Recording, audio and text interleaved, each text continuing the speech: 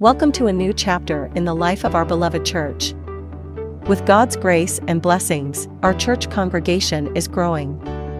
With this growth comes a need to renovate and expand our current Ambridge campus.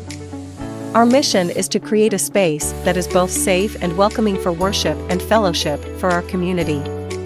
The new entrance is a transformative project that will become the new face of St. Mary's from the Merchant Street side.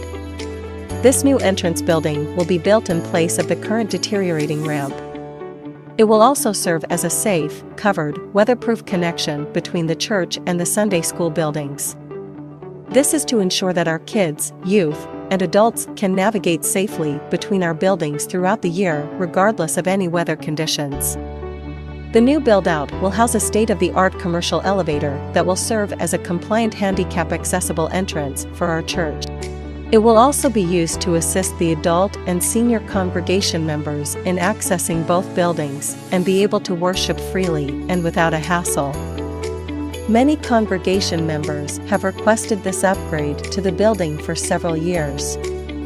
The church board has thoroughly vetted several companies in order to find the highest quality contractors at the best price point to carry out this project.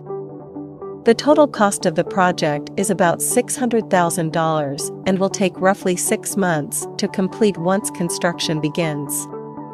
Picture a more accessible and inviting entrance, seamlessly connecting our buildings together. Imagine a space where every individual can navigate with ease and worship without feeling like a burden to their family or friends.